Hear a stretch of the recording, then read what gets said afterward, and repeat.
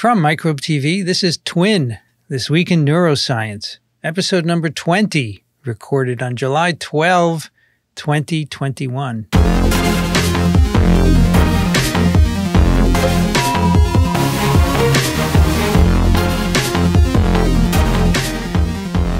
Vincent Racaniello, and you're listening to the podcast all about the nervous system. Joining me today from Salt Lake City, Jason Shepherd. Hi, Vincent. Hi, everyone. How how's, how's, it going out there? You got good weather, hot weather? Uh, it's it's been abnormally hot, just like most of the West. Uh, mm. And right now, we've got all the smoke coming in from California, so it's really horrible. Mm. Not good. Yeah, it's been over 100 degrees 14 times already this month. It's like a record. also joining me from New York, Timothy Cheung. Welcome back. Oh, hi. Thank you. Nice to be back. Nice and le- less hot here in New York. And from Nashville, Vivianne Morrison. Hi, guys. Can't believe it's been a month already. Yep. Yep. Pretty soon it's yeah, going to be. This year is going pretty quickly. Pretty soon it's going to be winter. Then it's going to be summer again. yeah, time flies. I can't believe it's July. Yeah, middle of July already.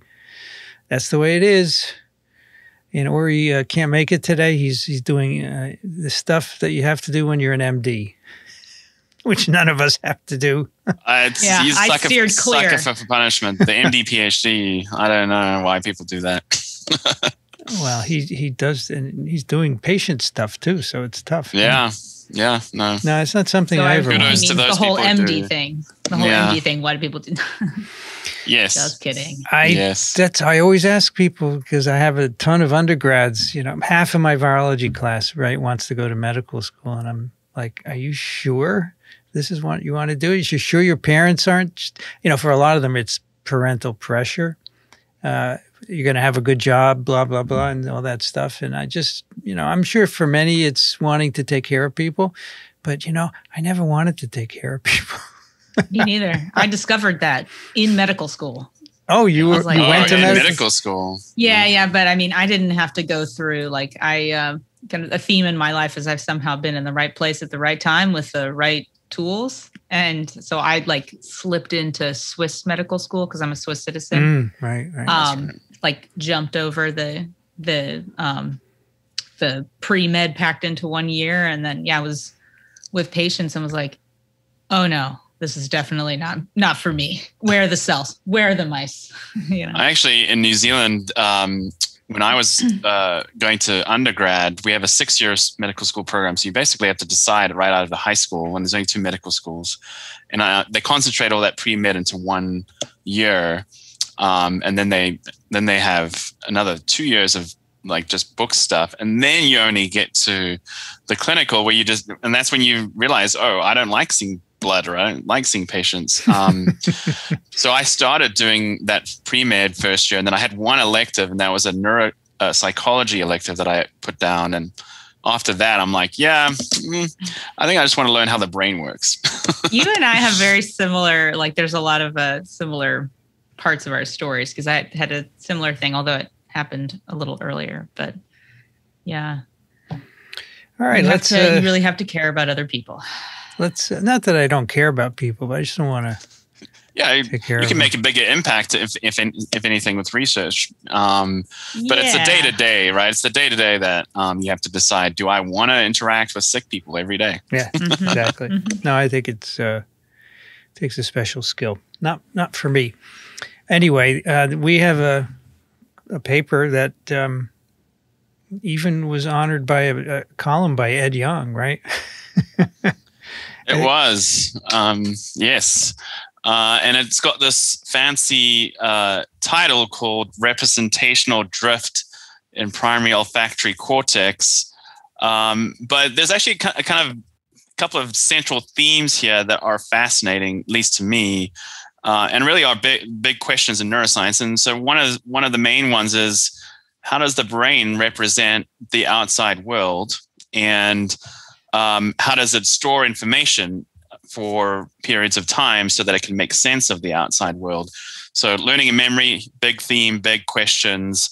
But even just the basic question of how does the brain represent sensory experience of course, is fundamental to uh, almost anything that we're trying to understand in neuroscience. And so, um, this idea then that that information has to be represented in the cortex or in the brain in some way has been uh, the, one of the biggest questions in neuroscience. Um, and it comes down to this idea that, of course, you want a system, you want a, a system that's able to learn and store information, but be flexible enough so that you can learn again and have a, a sort of a balance of this of plasticity versus stability in the brain.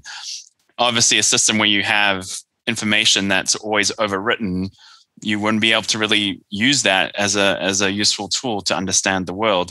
So there has the the brain seems to be constantly in this flux of storing information, having it in a stable way versus you know being flexible and being able to to update it and relearn. Um, and so the, the premise for this paper has sort of long history, which is that we always thought that the brain, the neurons in your brain that are actively firing in in um, in you know some sort of a pattern when you uh, experience something, there has to be a, a, a stable representation. That firing has to, there has to be something that um, the brain is you know constantly using to make sense of the world. So, for example, there's a we always thought there's a dedicated circuit for specific smells or dedicated circuit for a specific visual um, input. So if you, know, if you break it down into very small sensory um, information, like one smell, we always thought that well, once and once you experience the smell, um, the same part of the brain is going to light up every time you um, have that you know exposure. So that that was that's really been assumed and um and so that's that's why this paper and and sort of a, a, few other papers that have recently come out now that we have the ability to record directly from from neurons in the brain in a live animal um, repeatedly seems to suggest that maybe we don't uh, quite understand what the brain is representing because um, there there seems to be there, we, we're finding it hard to find that really stable trace or activity pattern or set of cells that are uh, rock solid each time you have even just a basic sensory uh, cue. Um, and so that's kind of why this paper is sort of um, uh, done the rounds, and Ed Yong wrote a, a really good article about it. Uh, Ed Yong's probably my favorite scientific journalist at this point. Um, so, so yeah, so and this is a this is a group at uh, Columbia University. First author is uh, Carl Carl Schoonover, Sarah Ohashi, Richard Axel, and Andrew Fink. And this work is in mice so obviously that's mice are not humans, um, as we've mentioned many times. But of course, what you can do with mice is stick an electrode, and this is what they've done here: stick an electrode in uh, a specific part of the brain, and then chronically record from the same place over and over for a month. And that's what they've done. They've stuck uh, an, a recording electrode in, some, in a place called the piriform cortex so it's the part of the cortex that's thought to respond to, to smells. Um, and they've recorded uh, in the same mouse, uh, you know, while it's freely behaving, um, and they can they use some fancy statistics and technical. Um, new technical, uh, you know, sort of advents in electrode technology to really prove or make sure that the, recording itself is stable that they are that they are recording from the same set of neurons that they think they are because um, that has been one of the biggest sort of challenges is that you can stick an electrode in but there's slight changes in the the way it moves or um, the detectability of, of the um, sensitivity of the electrode so that you're never really 100% sure that you can record from the same set of neurons. But I think they've done a pretty good job here, sort of validating that they are able to record uh, a set of neurons for at least a month. so that's you know that's pretty cool in Jason, itself. what's the tech here? When you say an electrode, I, I imagine this big thing sticking out, but in fact, it's tiny, and the mice can move around with this in. It's cemented in place, right? Yeah, exactly. So uh, you know, this sort of takes a number of different forms, um, but essentially, it's a very thin wire that's chronically implanted, and it's you know, best you have to make a hole in the skull and you stick the wire down, and then you cement it in place. Um, and so the, the technology that sort of improved uh, over the last sort of five to ten years has been in um, you know making the wire so that it's really stable it's flexible enough to go through the brain tissue but it's not going to um, move around. And the sensitivity so some of these new electrodes allow you to also sense um, and sense neural activity electrical activity at different points in the electrode so you can get different information from um, let's say the top layer of the cortex versus the bottom layer and that sort of thing is this um, They're all Yeah. wireless wired. or are they wired? Yeah, yeah. I'm wondering if the mice can w- move around or what. I mean, oftentimes I've seen them. They're con- that they're not wireless. That they are connected to something that can like move around on like sliders on the top of the cage if it was going to be moving around in a large space. But yeah, Yeah, this one is wired because the mice are head fixed. Right Um, but there, I have seen on wireless technology out there, um, but so that you can record 24 7 in the home cage. But I think it's quite challenging because you've got to, you have to have some way of wirelessly recharge the electrode to keep it powered. Um, and then all the radio waves of the wireless can interfere with things as well, because probably makes it a bit more complicated. Yeah. Yeah. So this in this in this case is um, the reason why they also want to do head fixed is they they're doing single unit recording. So that just means that um, the wire is thin enough that it's able to basically extract uh, one neuro- neuron firing. So a single single unit, um, even though it's sensing, you know, probably it's probably in, within the vicinity of you know ten to hundred neurons. Um, and there's some sort of fancy uh, software that can sort of break down the different um, neurons, and so they can basically say oh, he has the signature of of neuron one, he has the signature of neuron two, with that single unit recording, and then they can come back to the same neurons day after day. It's it's Um, actually really incredible.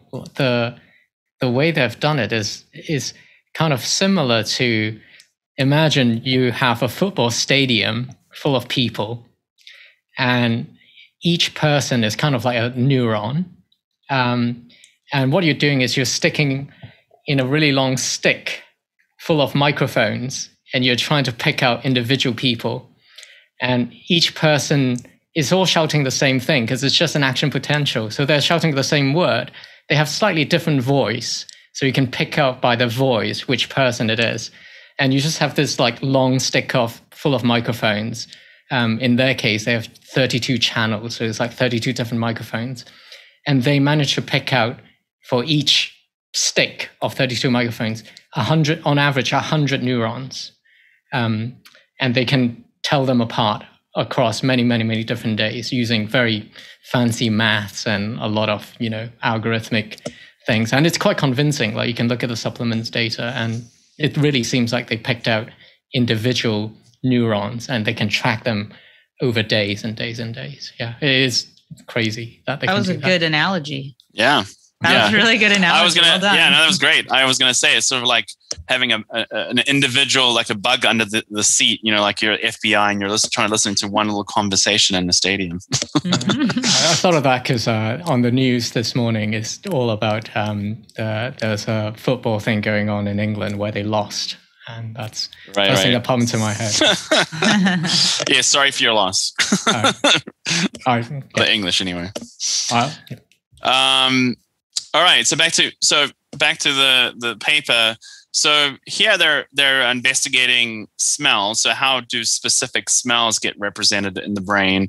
Um, and so just a bit of basic anatomy for uh, how how the smell um, sensory system works.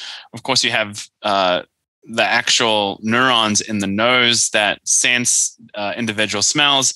Um, what's cool about this this, the sort of whole smell system is that it's very stereotyped. So a single receptor in a single neuron will be activated by a specific kind of smell. And then those single neurons uh, project to something called the olfactory bulb, um, where there's something called the glomerulus. So it's just a bunch of neurons that are in a group of um, group and clumped together. They're called nuclei or glomerulus. Uh, and so individual neurons that have the same kind of receptor then project to the same kind of glomerulus or nucleon. So it's very stereotyped. And in, in, mice, it's so stereotyped that you could basically label a specific uh, olfactory receptor. And in each mouse, it's exactly the same neuron, it's exactly the same glomerulus. So very stereotyped, very well ordered. But here's where then it gets, but here where it sort of gets crazy. So um, kind of makes sense that you want to have that that each receptor is its own um, you know individual unit and basically uh, the idea though for the smell is of course that there's never going to be one single smell. So ha- the, the brain has to make sense of it all. Um, but for a scientist we can take advantage of that and say okay well we know exactly which smell uh, can activate a specific receptor and so the, the the various repertoires of smells that you can use have been well worked out and so in here in this uh, particular uh, experiment, they used four or five different smells that they know kind of represent the different kinds of receptors in space and parameters, just so that they they can really tease out whether there's uh, a commonality between them all.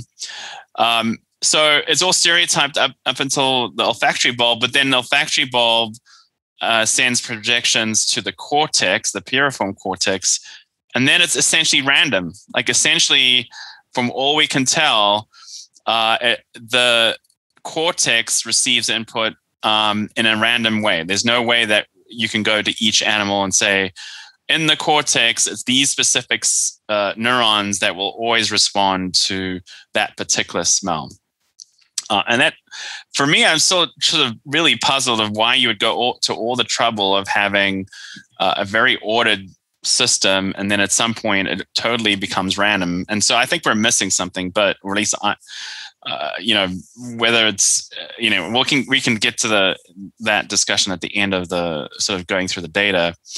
Um, and so it's the idea is that the piriform cortex is reading out the smell uh, information coming in from the sensory system um, there are of course a couple of other areas that the olfactory bulb can project to in the brain, and um, and so the cortex is not just the only one.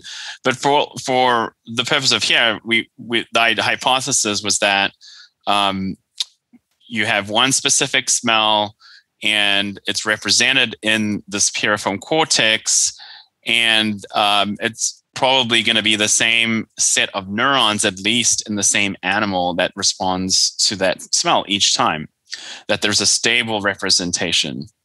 So, to, so to set out to, to test that, they put the electrode in that piriform cortex, um, recorded the activity of those neurons, specific neurons, over a month in response to the specific smells that they um, that they identified, and then just asked, well, um, you know, how stable is that representation? How, how does the firing of those neurons change each time they give that same smell to the animal? And the surprising result was that essentially over a month, uh, almost 0% of the neurons had the same uh, response to the smell at, at, the beginning versus the end of the, the recordings. And in fact, um, by two weeks uh, of recording, almost all the neurons had had so much drift in the responses that they were essentially completely different from the first recording. Um, so that's that in itself was really surprising. So you know, a month isn't that long, um, and so this and and that this drift for them that they sort of tried to figure out. Um, they you know they, they had some fancy statistics on trying to sort of at least show that um, it's not because they've lost neurons or that the, the neurons themselves um, inherently change their firing patterns. It's really just that each time the animal gets that smell, there's just a slightly different number of neurons or different kinds of neurons that end up responding to that smell. But it's still within the piriform cortex, right? It's not going way way to another place, correct? Uh, yeah, so this, yeah, exactly. So they, they didn't record from other areas. Um, this is just in piriform cortex. Um, so it doesn't discount the idea that perhaps there's an, another part of the brain that's receiving that information and that it's collecting it in a more stable way. Um, but in the, but you know, this is the main part of the brain that we think is processing this these you know sensory information from the, from the smell. And sorry, just to clarify, um, am I right in assuming that they, what they're saying is, um, if you pre- you keep presenting the same smell, it's going to activate the same set of uh, olfactory receptors or nasal receptors, and that would activate the same set of glomeruli in the olfactory bulb over the month, the glomeruli, which is the first uh, synapse, the first junction, is fixed. It is stereotypical. But then the next one in the cortex is then drifting like crazy. Exactly. And, and so they don't really show that in this paper, but there's been a ton of work uh, showing that the representation in, in the, um, you know, the olfactory receptor neurons as well as the glomeruli very very stereotyped. You could come back and it's always the same. So where does the where does the drift start to occur? Does it happen like um in terms of like how those glomerular neurons are firing? Does their pattern change and then that leads to something further out in the network that they pick up is that they're saying is drift or or is it or is the drift occurring like only in the piriform cortex? I don't really know if that I makes sense. I think the assumption is that the go- the glomeruli will respond essentially exactly the same, the same every single way, time. every yeah, yeah. So and that is yeah. almost like the retina so to speak. Mm-hmm. it's exactly. like gonna be the same response and then for whatever reasons then something occurring between the synapse between the glomerulus in the piriform cortex is what's causing all this drift to occur. Okay. So yeah, and so this is you know it's it it's surprising because um, this is a basic sensory uh, input that you'd expect the brain should be able to figure out you know each time. So it's not like when I smell a banana, I think of an apple. You know, just because I haven't experienced the smell of a banana recently. So not not only that, but like anecdotally, the sm- the smell memory is supposed to be the longest, la- like the most uh, long-lasting okay. memory. So ironic. Is that is that right? But, but this is not memory, right? So this is just saying mm, is um, just how is the informa- sensory information represented? But then that's the next question: was okay, well what if we associate the smell with something so that the animal is actually undergoing some sort of learning? So that's the next experiment they they did. So they did a, a classic uh, conditioning experiment where they have a shock that they condition in a specific uh, context with one of those smells, and so then afterwards the animal, if you give them the smell without the shock, they freeze because they think, oh, I'm going to get a shock, right? So they've learned that association. And that's a really strong association, even in mice. It's like one trial learning. You give them a shock with that particular kind of smell, and they remember that for months. And, and same with humans, really. I mean, if, you, if I shocked you, you'd probably remember a smell that's associated with it if it's really strong. Um, and even in that case, so the expectation was okay, well, maybe the drift is normal, um, and there's just multiple ways to make sense of that sensory information in the cortex. But if you learn to associate that that particular smell with something that's important, like you know you're in danger, that must have more of a stable representation. And no difference, no difference. So it was they when they recorded from the piriform cortex, uh, and in that context, no change to the smell that had been conditioned um, to the shock. Um, now, of course, again, it's not to say that there could be other parts of the brain, like the amygdala, um, that would really uh, have more of a stable representation of that learning. um, but it didn't do anything to the sensory representation, uh, which again was was really surprising.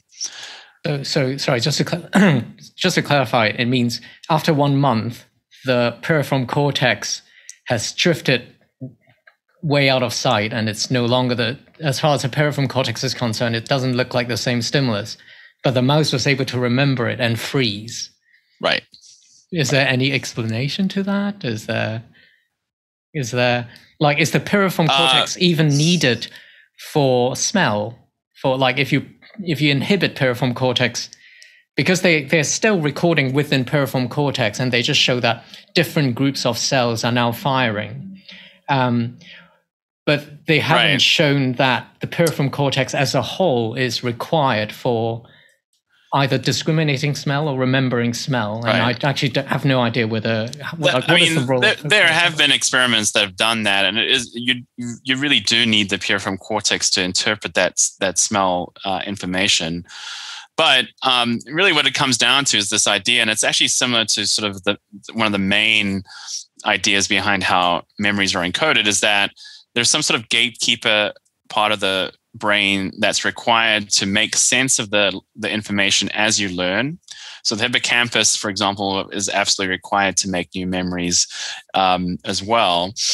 And but the ultimate site of storage of the information could be somewhere else. So in the hippocampus, for example, there's again a, a sort of a window of about three to four weeks where you absolutely need the hippocampus to consolidate that information into long-term memory. But if you come back and lesion the hippocampus a few years later, those old memories are intact. And we know this from actual human patients that have unfortunately had, you know, hippocamp, their hippocampi re- removed because of seizures or, or whatnot. Um, and so they're incapable of making new memories in the in the present, but those old old memories are intact. And so it could be the same here. So that, that, that's how, and they speculate this in the paper that perhaps the piriform cortex is acting kind of like a hippocampal gatekeeper, and that it's not the ultimate site of the storage of the representation or the information. But that still begs the question: Well, we then where is it? Because we, we for the hippocampal kind of uh, the classic episodic memories that we associate uh, with human experience we think that it's somewhere in the cortex. It must be somewhere in the cortex that that information is stored um, because you can lesion the hippocampus and take out the hippocampus and it's all good. Um, so yeah, so and for me, actually, at my lab, we're fascinated both at the molecular and, and cellular level of what is that ultimate site of storage? What are what are the um, actual proteins and genes that are involved in, in doing that? But there's been a lot of um, there's still sort of uh, a lot of unknowns here of where exactly we should be looking um, in the brain and and yeah so kind of crazy do you think do you think that using the word site of storage or like where we need to look in the brain is actually um, like semantically misleading like do you think that when we say like where it is stored it's really more like how and when it is stored? And that like the site of storage is really like um like a pattern of activation that occurs over space but like in a much larger space than we think we're like oh like here's the right here is like the little group of neurons that remember bananas or something when it in could, reality it, it's like much larger and it has more to do with like right. Um the, you know? Yes and no. I mean i so um you know there's sort of again been some recent um, technological breakthroughs where you can try and tag the specific cells that are active during the learning experience and then come back and do things to them like reactivate them eh, without the actual sensory information and then see if that's sufficient to motivate the animal to do something so that it looks like it's remembered. So it's almost like an inception kind of um, mm-hmm. and that's and that's actually something that we could discuss. Um, and and so there's this what's called the engram which is the idea that there's a set of neurons that are um, necessary and sufficient for that memory. And so you can do that uh, in mice, and there's some, um, and, and, in the hippocampus, there's a specific kind of uh, memories that you can do this where you reactivate a specific set of neurons that you tag during learning, and then the animal thinks that it's being shocked or that thinks that it's in a context that it used to be shocked. Um, so we've sort of narrowed it down to maybe there are a specific set of neurons uh, um, that are important for storing the information, and then the next level to that is well, how are they connected? So those synapses, and each neuron obviously has lots of you know lots of synapses, thousands of synapses. Um, and so is the is it the specific set of synapses that are strengthened between those neurons that form the engram, and that's the classic synaptic plasticity hypothesis. Um, and so then that would suggest that there is a physical trace, and it's the physical changes in those synapses, and that's it. Um, but ultimately, what the uh, you know what we don't know is that um, the actual sort of firing patterns that are generated uh, in these experiments that we use are very artificial, and um, and then for this kind of experiment where we're just recording from the animal, um, what kind of firing patterns are really representing the information, and that's where it gets really tricky. Um, because they do have they actually state in this paper which is sort of buried in the discussion that there's a subset of neurons like 2 2 to 3% of the neurons that actually do have a stable representation. And but what they're saying is like well but if only 3% of the neurons recording we recorded from had this stable representation that can't be enough. But maybe it is we don't know. I mean the, the problem with all of this is that most likely the information is very sparsely distributed. Um, and so then if you then you have this sampling bias, right? So you don't have if you could record from every single neuron in the brain at the same time, then you could figure out, oh, there's these sets of neurons here that are somehow special and, and are stable across the lifetime of the animal. But those are, you know, super hard experiments. But for all intents and purposes, it does seem like with this drift, going on um, that it's um, it's not as the brain is not as stable as we thought, or at least it's not as stable in this very, as you point out, sort of semantic way of saying, well, there must be um, specific spatial information, you know, neurons that are in a spatial connection to, together to to form. Or at least uh, not for all types of information, right? Because, like yeah. you said, those inception engram kind of experiments, that's a particular type of information that's being encoded, but it is just a fraction of the information that we could be encoding.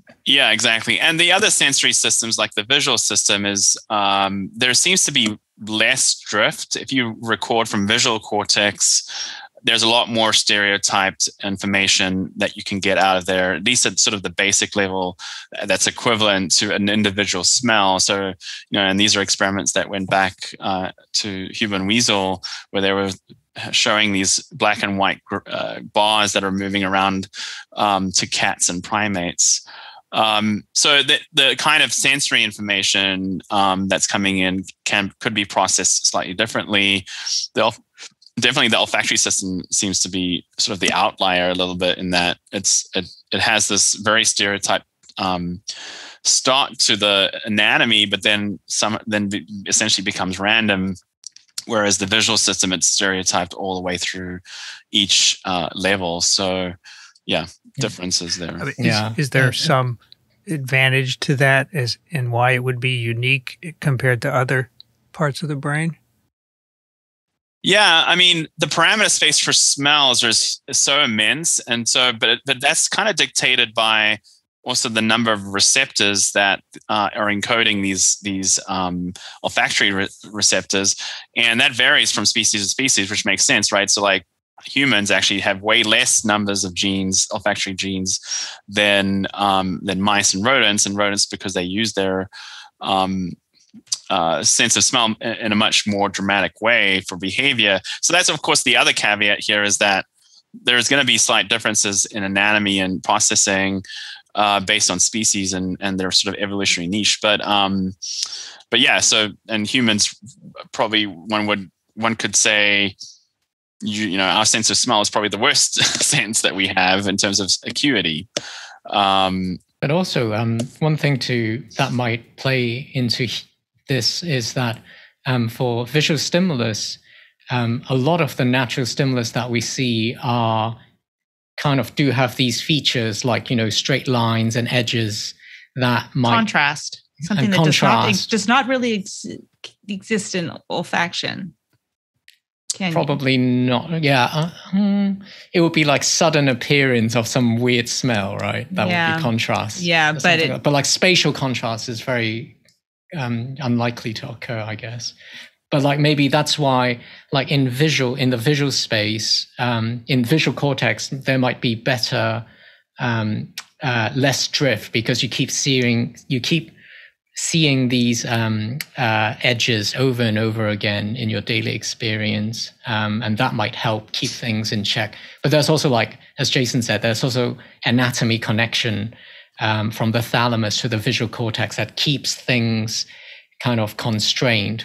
That doesn't seem to occur for the olfactory yeah. Yeah. No, I think I think that's true. I think the the visual world, the information is is a lot more stereotyped no matter where you are in the world, unless you live in the ocean, um, versus smells, which you know are really can be quite unique to the specific you know tree that you're living on, um, or you know your ecological niche. So I think the diversity of olfactory olfactory information is is is a lot the parameter space is huge.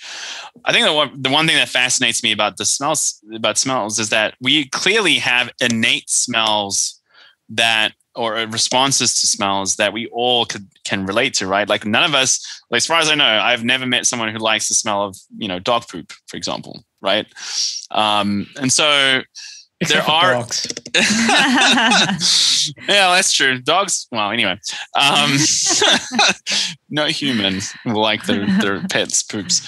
Um, so there's you know so there's smells and there's the smell of vomit, the smell of you know rotting things. Those are all innate sort of built-in responses, and it's not clear you know how that works and so there's clearly other circuits that are built in there where you you you'd expect that the stable there has to be a stable circuit or representation or stereotyped way of interpreting that information to get the same response in, in every in every individual. Um, so so that's fascinating. Um, they should do those experiments. What odors did they use here um, yeah, I, actually, I they they specifically said they chose neutral odors, so not to, so as to not engage uh, all the uh, innate. Yeah, so yeah, so we've got this. There's a whole like there's other papers that will stem off of this. I imagine looking looking at like what Jason was just saying, or even more pleasurable ones. Right, right, well. exactly. The converse, like well, um, you know, to, I guess every you know most animals will like do like sugary or sugary kind of smells because that makes sense that they need to uh, try and find those the, the food that they're after. Um, so okay. then, just the last thing in in this paper oh, that they actually, yeah go sorry Jason I might be anticipating the last thing in the paper, but um, one question uh, one might have is you know how if you like just if you really have to go and you go to a public bathroom restroom as soon as you walk in, you're going to get hit by a strong smell. Um, but if you stay there for a little while, you sometimes you get used to it. You habituate. You, you like you actually you can take a big sniff and you just don't smell it anymore. And that's on the order of like maybe five to ten minutes. Um, what if something like that also also happen in the brain, but over a much longer time scale, like you know, tw- two weeks, four weeks? Yeah, um, so that that's um, that classic habituation to sensory information is you know, you know it's something that every brain does. Everything you know, and most sensory modalities too. And all sensory modalities, because otherwise you'd just go insane. But, but not for but, but not for like things maybe for brightness, but not for an angle. You don't get used to an angle and stop being able to see it, right? Uh, that's, that's true. Um, yeah i feel like you're that i feel like that is one step below in the hierarchy of like oh, things. the mm-hmm. i don't know how to describe what i'm saying but um yeah that is uh but actually what even uh, what i said is is wrong because the prediction is that if i stop being able to smell a particular smell um, then the drift in terms of the representational drift in the cortex it would not drift away from my original kind of um, uh, representation, like it will not yeah. drift away from our original set of neurons that are firing.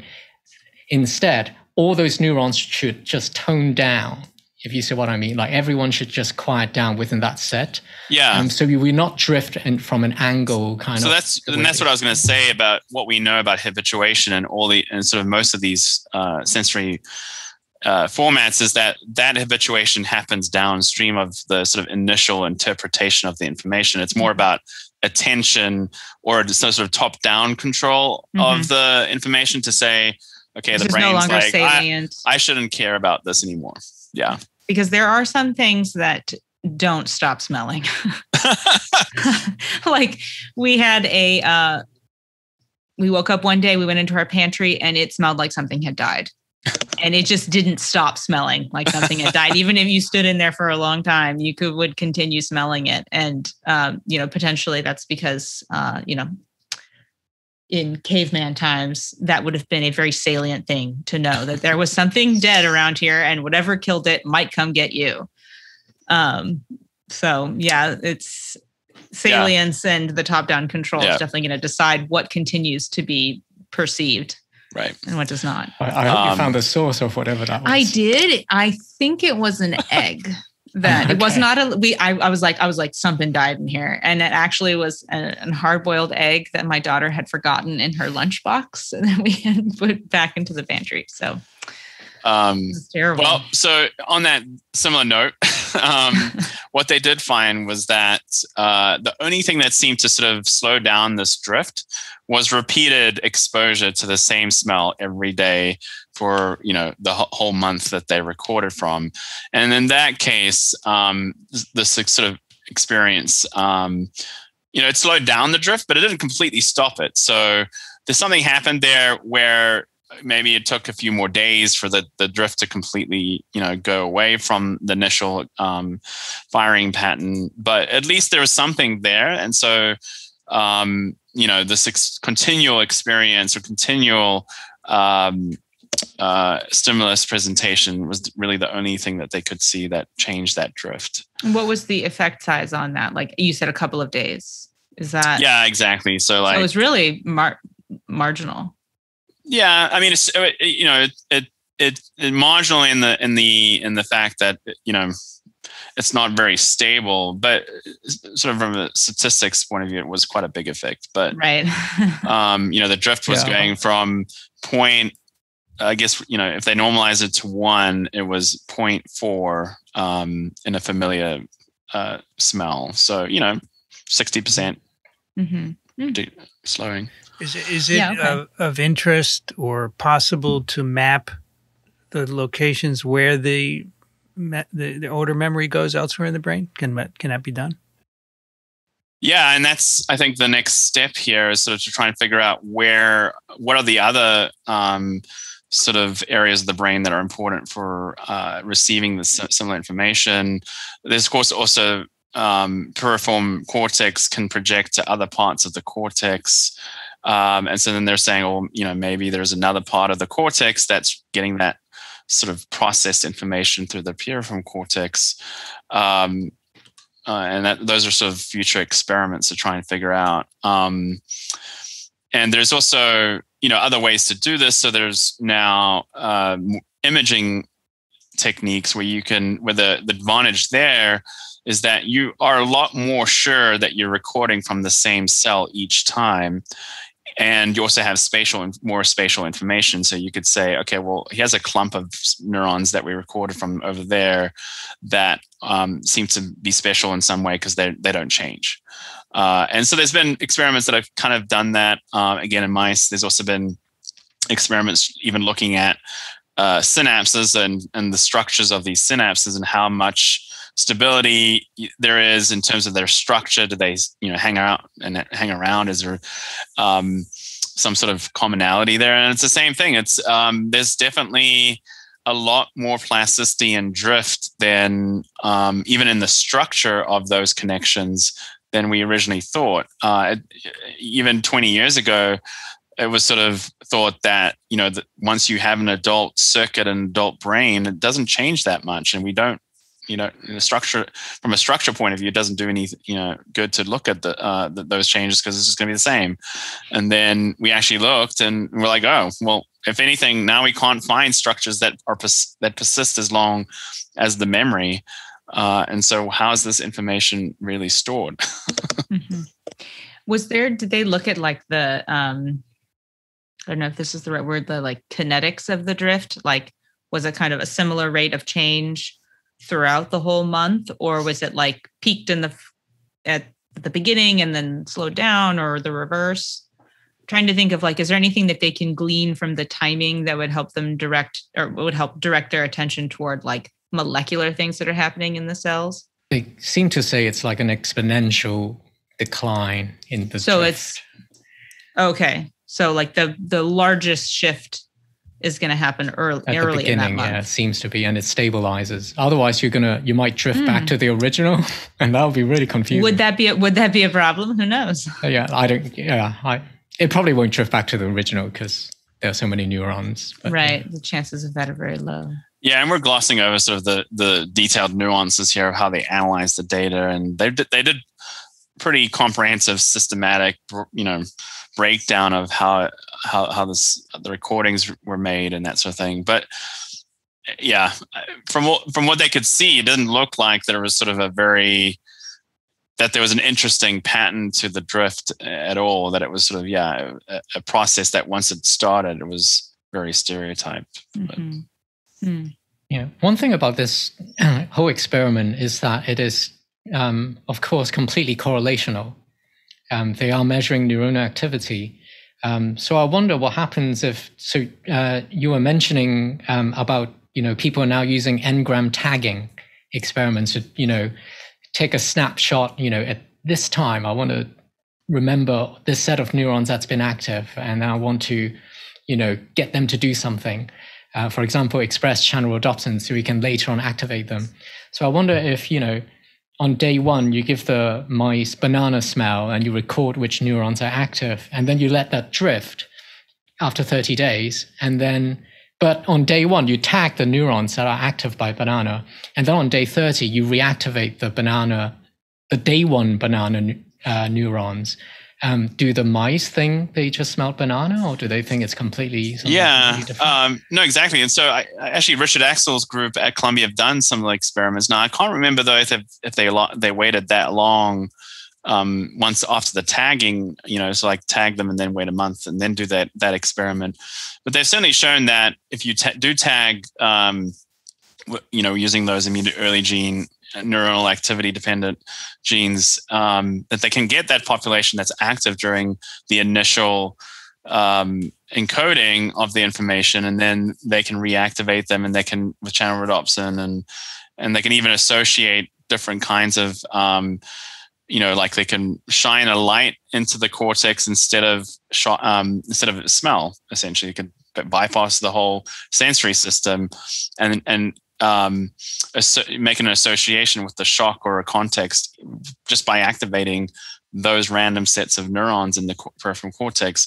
So yeah, I mean there is a disconnect here. I think there's um, in terms of trying to understand um, you know how these engrams work and and i think part of the problem with the tagging approach is that you probably have way more cells that you tag initially than are actually important for the the engram and so it works because you get enough cells that ultimately are um, important for that engram and i think that sort of knowing exactly what the engram is is where it becomes really difficult to interpret have you guys seen? Um, there are there are now these fancy technology where you can actually um, use um, holographic uh, laser holographic patterning of optogenetic stimulation to actually stimulate just a few neurons, perhaps at the right time, to recapitulate the exact kind of firing. Um, so I don't know, maybe that kind of yeah. science fiction stuff will be um, used in the future. Yeah, but that's too crazy uh, to think about. Well, I think that I mean ultimately exactly. So Inception would to be able to incept a memory into a human brain, we would really have to know a priori, like beforehand, what are the neurons in that human brain that would represent that particular experience? And we there's no way we could do that at this point. There's no way that we because the only way we can do this is by artificially tagging the the set of neurons while they experience something. And we could change the properties of that memory by artificially playing around with it but ultimately it's still not inception because we have to tag them in some way and the only way to do that naturally is is to have experience have the mouse experience something first. Um, and so even then it, even then you're not getting the same neuron because it's going to drift. Yeah, yeah, but you know i think the question then is what is the the firing patterns that are important for for maintaining that information as well? Um, but what if what if um, I think Ed Yong kind of alludes to this in his um, in his article. Um, what if memory? So, like, what if in the sensory receptors and the thing that are very close to our five or six senses, I don't know how many senses there are. Um, then it's it, five. But how about the sixth right, sense? Six, the one that to see the dead people yeah. is different. Yeah. um, but what if the the sense the you know the receptors and the first neurons that connect to those receptors are very stereotyped and patterned, uh, stereotypic patterned. But then everything else, like memory, um, involving memory, are exactly that. Like memory are always faulty, uh, almost always faulty, and you don't remember the same memory twice because you also change in between that time. So maybe some of these drifts just represent that. And the mystery is how come each time, you know, you well, the thing that still needs to be explained, explained is how come each time you, you know, give me a banana, I still, even though things are drifting and my memory is faulty, I can still able to report it as a banana. Right. Yeah. No, I mean, that's a really good point in terms of memory. So, you know, um, we individually think our memories, our strong memories are, are very accurate, but they're completely um, false. And by the time that you um, recall a memory, you know, more than a couple of times, it's been updated in a way. The memory that, of a memory. Yeah, I mean, it's Meta. well, but it's the recall. It says updated each time, and so then uh, it's slightly different. It drifts. There is drift in our memories, and that is very uh, clear um, from from all kinds of studies. But what is surprising about this result is, as you say, that the idea of a banana if you have a good sense of smell is not going to change uh, over years. Like you you send you, you smell a banana the first time and the hundredth time it's the same. So that's where it's surprising that there's not a stable representation of that sensory information um, in the cortex. Memories i can understand because to some degree each time you recall that memory it gets updated um, and there's sort of a, a context of, uh, of information that that goes with that memory. Um, and so that's and that's also why you know for most of us we don't have photographic memories. And so we're not going to be able to just say oh you know, you know on the this time and this day this is what i did. How much does it uh, i have a couple things i want to say but one is how how confident are we in slash how strongly does this uh, is this updating of memories? Like and what does that actually look like? Have people shown that like translated that into an actual like change in firing patterns, changes in protein expression, changes in synaptic strength or something like that because I my initial reaction is to be very cautious about saying that like you know, I recall a memory and then like I'll or I make a memory, I recall it and then the second time I rec- recall it, I have like a different experience while recalling it. Like I see certain things more um, more strongly, or like I focus in on a particular feeling I had during that memory that maybe I didn't experience during my first recall. I would be cautious to take that and say that it is related to, dependent on, or driving this the drift that they're talking about in this paper. Could be any one of those things. Could be none of them. I don't know. But I would just um, I per when like mm, I don't know if those are actually the same things. Yeah, I mean when when when the sort of phenomenon first sort of uh, so in memory, there's in the field, uh, there's this idea of consolidation, right? And so you you're um, if you interfere with that consolidation process it, it, during that window, you can stop the the uh, you know long term memory formation, and uh, but at some point there it's stable enough that you can't interfere with it and that and that means interfering it both at a protein or molecular level also but also from a sort of behavioral level um, you know like that's why it's harder for you to uh, memorize a phone number if I tell you to, you know, also think about what you ate for breakfast at the same time. You just, you know, you're going to be able to, you won't be able to do both. Well, most people. unless you, unless you use those techniques, um, the memory palace. Yeah, to connect them. Yeah. But, um, but so, uh, when the, so this idea of, of uh, plasticity of you know like there's a window that you can interfere with the memory at the molecular level was clear and one of the things that you can do is you can block protein synthesis so you need new proteins to be made um, for this consolidation process and that that's transfer that, that, that's the case for almost every single kind of long-term memory uh, study so then but then what people started to see was that you if you when you test the animal to, to, to ask them if they can recall that information, um, that memory becomes labile again, in that it's now uh, now if you put another uh, round of protein synthesis inhibitors, it, it blocks the consolidation. So they oh, basically, okay. uh, and so then the, and so this was called reconsolidation. Um, and it was very controversial in the beginning because as you said it was like well we just thought it was all fixed and then how can you suddenly update it um, but that that's also actually be, behind uh, an idea behind some of the latest therapies that uh, that um, even at the behavior level for PTSD. So you know, there we think PTSD, of course, is these um, really strong memories that have a super strong emotional content that um, and you have very little control over that emotional content and the, and control over what triggers it. So to get rid of that sort of connection between the emotional content and the memory, um, if you react, if you, if you get people to recall these experiences, these traumatic experiences, in a safe environment, in a you know, in a uh, with a professional, and um, part of the reason why this this works is that uh, it's because you're updating that memory and you're, you're trying to get rid of the emotional content.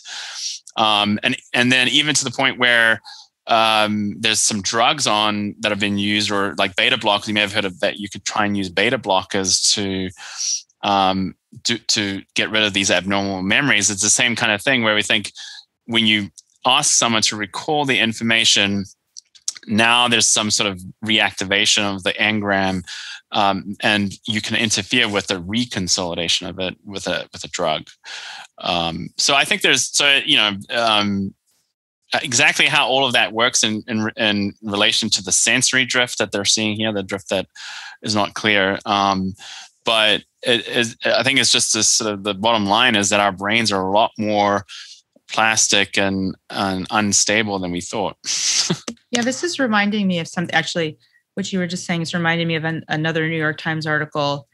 Um, the title is Many People Have a Vivid Mind's Eye While Others Have None at All. And I wonder if there are people who um, are naturally, be, how to say this, um, they can revisit memories to a stronger extent than others. And so that they, whatever, they may have mechanisms for plasticity that are more robust than people who don't have as much of a mind's eye and who can't like fully immerse themselves in a memory. I think we should that I think we should actually discuss that that uh that those that paper and th- those do you know, results. Do you yeah, know what I mean, it, you know of it? I yeah, I, mean, I only well, read. The, I mean, it's mind blowing. So right, so it's basically you suddenly you ask people, uh, do you you know do you how do you think? Do you think in, in can you recall in images?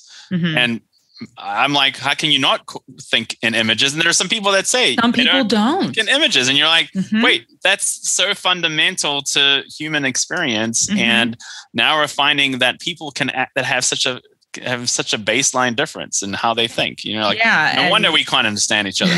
and it's not even just uh, th- like this. That article is talking about um, you know using uh, imagery or like visualizing something, recalling with images. But I think it's also related to, um, you know, uh, inner voice. I mean, I may have mentioned this before in another one of our episodes, but um, that some people have very strong inner voices and and they experience that as like auditory um it's an auditory experience like they're talking to themselves or they have conversations with people they're you know imagining a conversation with somebody so um, you know, do people who have a strong inner voice have a strong mind's eye? And what does that mean biochemically, you know, in their neurons and how their brains function? Like, are they more, are they going to be uh, more creative because their plas- their plasticity toolbox is uh, more robust or, you know, it's just, it's very interesting. There was another thing I wanted to say.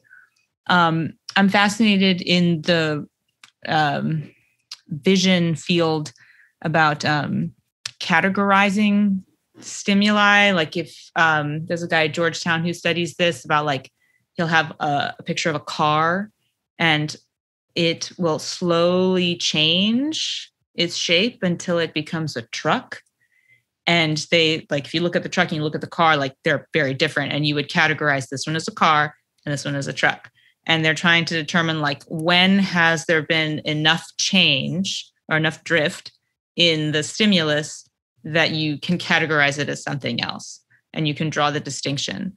And um, i was just wondering if um, smell has does a similar thing.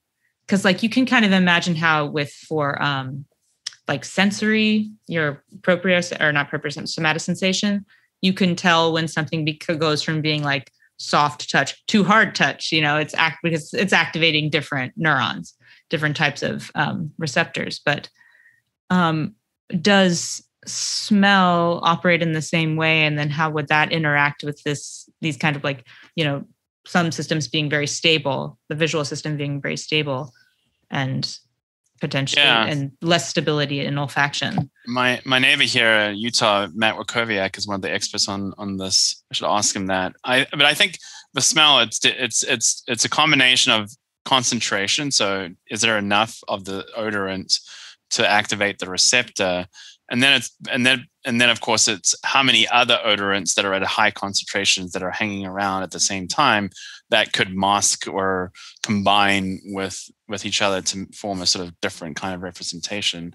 Mm-hmm. uh, so that's that's where these experiments are somewhat artificial in that they're very controlled concentration of odor and they're single odors and that's not normally what you would find you know. Right because you're going to um, smell that banana eh, as a banana or maybe banana bread or yeah. you know, well, but even a banana, like, like there's there's a, you know there's probably one or two different odorants that make up the banana smell, not just one uh, as a combination. Right, and I wonder that when they do the experiment where they expose, you said it was daily exposure to the same odorant. What if they like, you know, cause the if they uh, you know change very small in a very small way the banana smell. I don't know how you do that but i mean probably like what you're saying mix different things together like a certain ratio if that would if you could to a certain point like keep the drift low and know that like be, below that threshold the banana smell is still banana is still being interpreted as a banana, banana smell. And then past that yeah. point you've you know it's like the car versus the truck you've passed some level. I don't know like why you would care about that, but um, I just think it's very interesting when you when we're talking about the the different sensory modalities to think about how those stimuli are different. Like your brain has a, you, you know your your somatosensory cortex has is very uh, is, it has a map on it right? So that certain body parts are always going to be represented in certain places. And your visual field your um, visual cortex is the same way because you have a visual field that you separate into quadrants right? And know that where stuff comes from. Um, and same with your with um, your hearing your but smell seems a little bit more um convoluted. Like there's no real like map. Yeah, and, and that's because the, the parameter space is so big. So like you know, there's millions of smells, but it, there's only a couple of hundred receptors that can detect uh, them. So in humans, our repertoire of smells is much less than, of course, in an animal that's going to have like a thousand receptors that could detect a lot more different parameters. But I think so, you can you can still class them into like, for example, uh, an, an orange might smell more similar to a lemon than it does to um, I don't know a rose, for example. Yeah, yeah, yeah. and that's probably so, you know yeah because of similar odorants. Yeah. So I wonder. I think they might have looked at it in the paper. I just don't remember getting that deep into it. Like whether if you measure how similar, if you give a mouse on day zero both orange and lemon, um, mm. because they're similar. Mm-hmm. And then you look at how orange drifted by, you know, 30 days. Can you use that to predict predict where the lemon has drifted to? Like, do they all drift similarly? Um, I think they found they, they did some they did that geometry uh, figure. Um, yeah, I think it's not quite so simple as that. But um, yeah, I think it, things basically got much more jumbled up than being able to predict things. Yeah. Right. Right. Exactly. Yeah. By the end of the the month recording, they couldn't tell which one was which, basically. All right. Uh, before we close, we can close pretty quickly, but I just wanted to do a couple of email to make a little inroads, maybe uh, just two or so. Yeah. Uh, the first one is actually related in a way. This is from Dave, who writes A comment was made, and I don't remember when. If an olfactory neuron was destroyed, it wouldn't regenerate. Although this is often true, olfactory neurons can and do regenerate, even following transection. And he, he gives a link to a paper uh, on mice, but it's also been established in humans. This is a paper uh, on regeneration and rewiring the olfactory bulb. I've always thought that since chemoreception has been evolving longest of the senses, suggesting a simpler structure with more time for incremental upgrades, that repair after injury has developed more than other senses. Any thoughts on that? Well, I mean, it, it actually is true that um, there's only two, two major parts of the brain that have neurogenesis and ma- making new neurons after development. So one of them is the hippocampus, and the other one is the olfactory bulb. Well, um, really, it. Hmm. There might be some. That's interesting that you say that. Are you talking about? Uh, I, I, did you meet the SVZ, or because like the neurogenesis that the the cells that are being I, this I don't know this. I yeah, I mean, ultimately they they migrate. You're right. So they they they migrate to um, the olfactory bulb. But basically, the idea is that you can replenish those those uh, neurons in the olfactory bulb, you know, as an adult. Um, but none of the other sensory systems have that either and built in. And I, I think I've asked Matt that question of why you would want to have you know this regeneration and it's not clear. It's exposed all the time. Um, all these flu and coronaviruses. And you know fingernail no not not fingernails. It's that's way further up there. Um I was going to ask though. So uh, I don't know know this, but I was like, maybe there is. When Jason was like in the olfactory bulb, I was like, is there like local neurogenesis happening? Because um, and I'm just starting to learn about olfactory bulb, like neurogenesis for olfactory bulb neurons, because it's associated with the work I'm doing with microglia and early postnatal development. Um, and we're looking at the SVZ. Um, but the neurons that are dying in the olfactory bulb are they're not like the are they the inhibitory interneurons that are being born from the SVZ postnatally and that are migrating? It's those ones. It's not like okay, okay. Yeah, I wasn't sure because are they inhibitory exposed? interneurons? But I don't know. Where, yeah, I don't know. I don't know what the, the details right. are there, but something to look up. It will be. We'll follow up on it on a, in a future episode. And actually, to quickly add to the olfactory bulb, um, I don't know whether you guys remembered in the news last year they found uh, they found humans uh, that can still smell even though they don't have olfactory bulbs. So this actually suggests that olfactory bulbs is not necessary for smell. Uh, and it's a complete mystery. Well, there's um, a, I mean, there, there's this whole pheromone circuit that animals have, right? Mm. And th- they seem to bypass a lot of the circuitry in the olfactory bulb. Um, it's always thought that humans don't have a lot of those pheromone circuits intact because we've sort of evolved out of them. But there's always always occasionally an experiment or study that? show that that um, that you yeah that that that they're intact in some people. So I don't know. And are these people, uh, Tim? Were they people who were like uh, lost their olfactory bulb during injury, or was it congenitally? I don't. I think it's congenital. Um, how do you know that they? Ex- how do you know that they're smelling? Like, they, I'm could they be? So. Ex- could they be experiencing something that they call smell that is in fact? Ah, it's difficult to tell. So I haven't read the paper. Um, ah. I'm just quickly reading the abstract, but they can. I'm guessing they ran a bunch of discrimination tests, and they can tell them apart. Um, but like whether a banana smells as banana y to these people with olfactory bulb as it does to us. Oh, Well, I'd like mean, to. ultimately, I don't know if you experience red the same way as I do either. It's Yeah, subjective That's nature, what, but that's what I was going to bring up. I mean, what they really need to do really would just be like tape the person's mouth shut so that they couldn't be receiving the odorant through another organ that is maybe capable of processing that information, right? Like you're probably not smelling smelling stuff through your eyes or your ears, right? Maybe except for except for chili pepper and uh, wasabi and mustard. through your eyes. I don't know. Yeah. Yeah. That could be your tongue, but right? yeah, And that's onions. interesting. Um, let's do one more. Uh, Vivianne, can you take the next one? Sure. Um, hold on. Probably you don't have your show notes open. But I, I do have it up. Okay. Uh, okay, but I have to see where. it's another day. Well, it's the same day. Yeah. Was it the um, one of the listeners asked Yeah, in effect yeah, if yeah. mice lie, why use them? Yep. All right. Okay. Here it is. Would you like me to read the question? Yep. I'm reminded of a time when I approached my PI with a modification that would collect the same amount of data in one day that we were currently gathering in one week. He explained that the procedure we were using was well established in the literature. My suggestion might very well be an improvement, but it wouldn't um, be acceptable for publication unless we demonstrated that it did not introduce unintended consequences, such as altering the protein conformation that we were studying. Since our lab ran this procedure once or maybe twice a year, it wouldn't make sense to spend the months required to demonstrate that the new procedure gave the same results as the old procedure, only faster. Mice have been in the literature so long, much has been done with mice, pure genetic strains, knockout strains, etc., that there would have been a compelling reason to use other animals.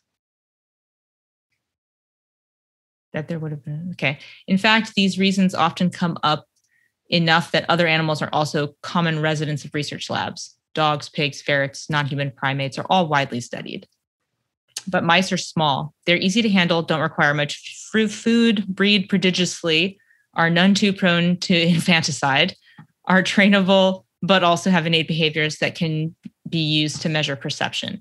If we were going to stock our Mars colony with an animal for genetic research, we might very well still choose mice because they score highly on so many different criteria. I like that This- story. This is to answer the but done in mice. Uh, yeah, why are mice so commonly used? Yeah. Yeah. Yeah. But there is a push. There is a push to sort of diversify our model organisms, and um, you know, I think we can learn a lot by studying other organisms. So it just depends on the question. As I, there's no wrong model organism. It depends on the question you're trying to answer. Like if if you're trying to answer a vision question in a blind mole, then yeah, then That would be- not be a good idea.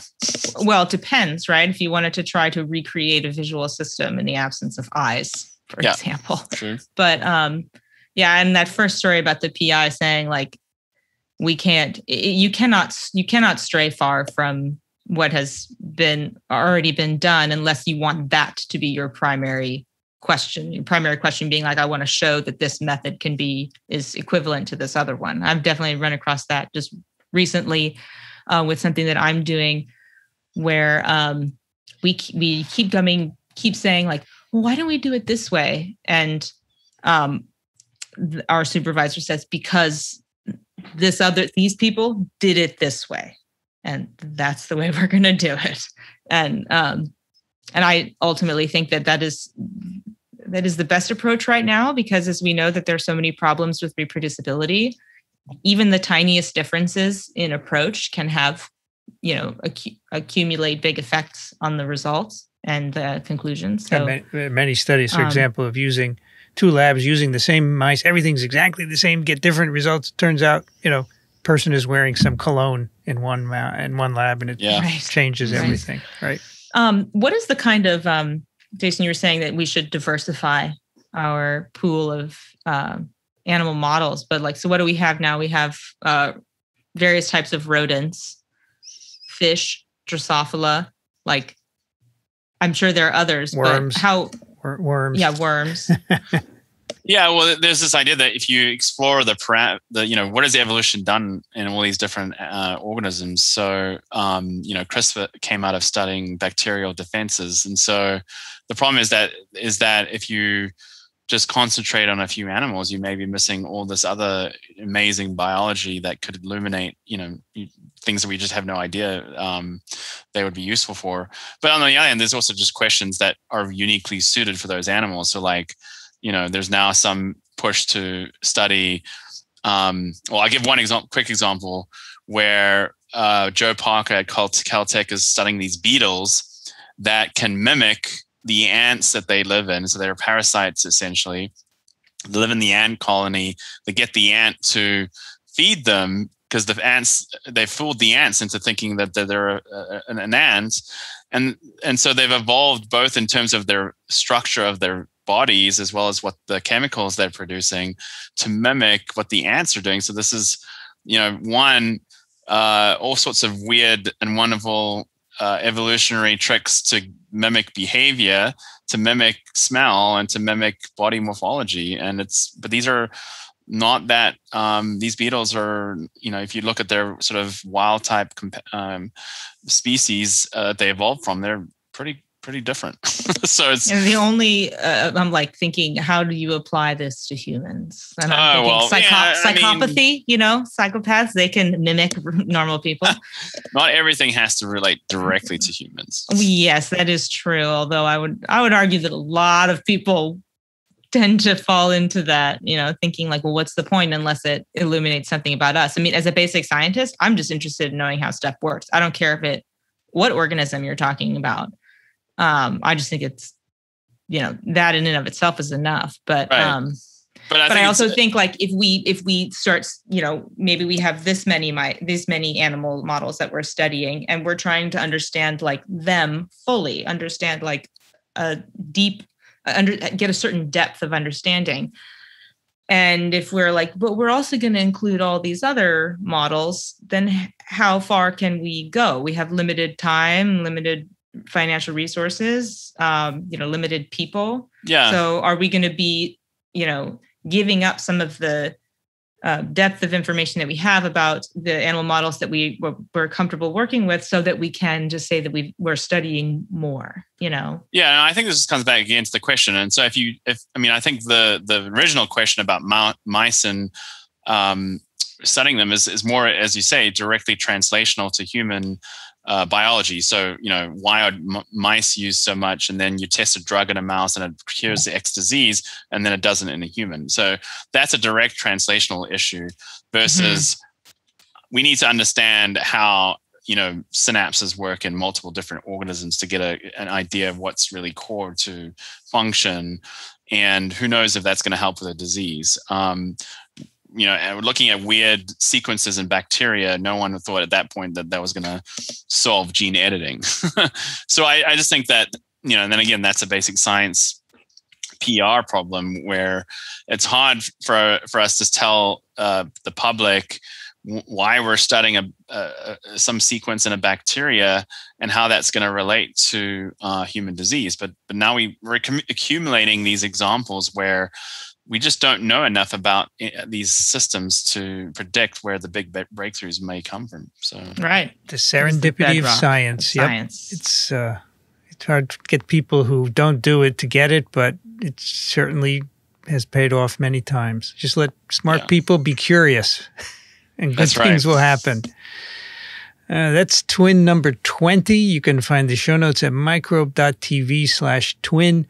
Uh, you can send us a question or a comment, twin, T-W-I-N, at microbe.tv. If you like what we do, consider supporting us, microbe.tv slash contribute. Jason Shepherd is at the University of Utah over on Twitter, Jason Synaptic. Thanks, Jason. Thanks, Vincent. Timothy Cheung is at NYU, New York University. Thanks, Timothy. Thanks, Vincent. Thanks, everyone. And Vivianne Morrison is at Vanderbilt University. Thanks, Vivianne. Thanks, guys. Thanks, Jason, for leading that. It was very interesting. Yeah, thanks. Yeah. It was a lot of fun. I'm Vincent Racaniello. You can find me at virology.blog. And listening to This Week in Neuroscience, thanks for joining us. We'll see you next month.